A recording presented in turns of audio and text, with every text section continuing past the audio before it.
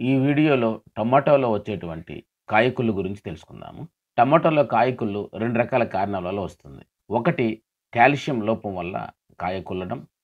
రెండు శిలీంధ్రం వలన కాయకుల్లడం. ఈరోజు కాల్షియం లోపం వల్ల వచ్చేటువంటి కాయకుళ్ళు గురించి తెలుసుకుందాము. దీనిని బ్లోజం ఎండ్రాట్ అని కూడా పిలుస్తారు. ఇది ఎలాంటి తెగులు కాదు. ఇది టమాటో మొక్కలో కాల్షియం అనేటువంటి పోషకం తక్కువగా ఉండటం వలన ఏర్పడుతుంది. ఈ కుళ్ళు ఒక కాయ నుంచి మరొక కాయకు లేదా ఒక మొక్క నుండి మరొక మొక్కకు వ్యాపించదు. టమాటో కాయ క్రింది భాగంలో నీటి మచ్చలు ఏర్పడతాయి. ఇవి గుండ్రంగా ఉండి క్రమేపీ పెద్దవి అయ్యి గుంట పడినట్లుగా ఉండి గోధుమ మరియు నలుపు రంగుకు మారతాయి. చివరికి కాయ కుళ్ళినట్లు కనిపిస్తుంది. టమాటో కాయ పెరిగే కొద్దీ ఈ మచ్చలు ఏర్పడుతూ ఉంటాయి. ఈ కాల్షియం అనేటువంటి పోషకం భూమిలో ఉన్నప్పటికీ మొక్కలకు అందకుండా ఉంటాయి. దీనికి కారణాలు మనం గమనించినట్లయితే భూమి ఎక్కువ తేమగా ఉన్నా ఎక్కువ పొడిగా ఉన్నా భూమిలో నత్రజని ఎక్కువగా ఉన్నా కలుపు తీసేటప్పుడు టమాటా మొక్క యొక్క వేర్లు దెబ్బతిన్నా భూమిలో లవణాలు ఎక్కువగా ఉన్నా కాల్షియం అనేటువంటి పోషకాన్ని ఈ మొక్కలు తీసుకోలేవు. ఈ మొక్కలు ఎప్పుడైతే కాల్షియం అనేటువంటి పోషకాన్ని తీసుకోలేదో కాల్షియం పోషకం యొక్క లోపం మొక్కల్లో మనకి కనిపిస్తుంది. ఈ కుళ్ళు పచ్చికాయ మరియు పండుకాయ రెండింటి మీద కూడా కనిపిస్తాయి. ఈ కాయకుళ్ళు మనం గమనించినట్లయితే టమాటో యొక్క అడుగు భాగాన్న మాత్రమే ఈ కుళ్ళు అనేటువంటిది ఏర్పడుతుంది. టమాటో అడుగు భాగం నుంచి మాత్రమే ఈ కుళ్ళు ఏర్పడి అది నిదానంగా కాయ మొత్తం వ్యాపిస్తూ ఉంటుంది.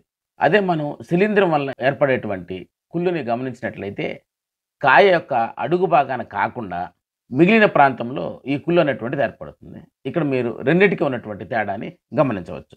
ఈ కాల్షియం లోపం వల్ల వచ్చేటువంటి కాయ కుళ్ళు నివారించేటువంటి పద్ధతులు మనం గమనించినట్లయితే భూమి మరీ ఎక్కువ తేమగా ఎక్కువ పొడిగా లేకుండా చూసుకోవాలి. నత్రజనిని ఇచ్చేటువంటి ఎరువులను ఎక్కువగా వాడరాదు. ఇలా కుళ్ళిన కాయలను కోసి పారవేయాలి. ఇలా కాయలు కోయడం వలన మరలా పూత వచ్చి కొత్త కాయలు రావడానికి ఆస్కారం ఉంటుంది.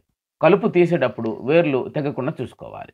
కాల్షియం లోపం నివారించడానికి కావలసినటువంటి పోషకాలను మనం గమనించినట్లయితే కాల్షియం ద్రావణం ఏక్వాకాల్ పద్దెనిమిది శాతం కాల్షియం రూపంలో ఏరిస్ కంపెనీ వారిది మార్కెట్లో దొరుకుతుంది. దీనిని మూడు నుంచి నాలుగు గ్రాములు ఒక లీటర్ నీటికి కలిపి పిచికారీ చేసుకోవాలి. ఒక ఎకరానికి గమనించినట్లయితే ఆరు వందల గ్రాముల నుండి ఎనిమిది వందల గ్రాముల వరకు ఒక ఎకరానికి పిచికారీ చేసుకోవాలి. డ్రిప్ రూపంలో ఫెర్టిగేషన్ చేసేటువంటి రైతులకు కాంబికాల్ గుళికలు దీనిలో కాల్షియం ఇరవై ఆరు పాయింట్ ఐదు శాతం ఉంటుంది.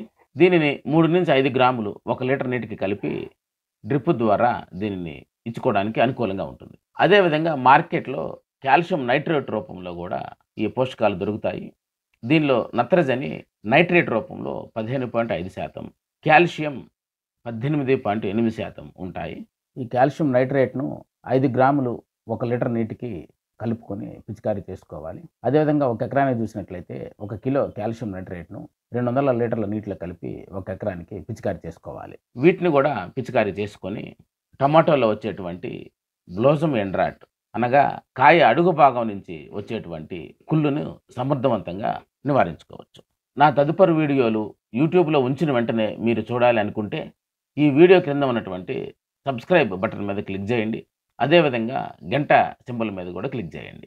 ఈ వీడియో ఇతర రైతులకు ఉపయోగపడుతుందని మీరు భావించినట్లయితే రైతులకు షేర్ చేయండి.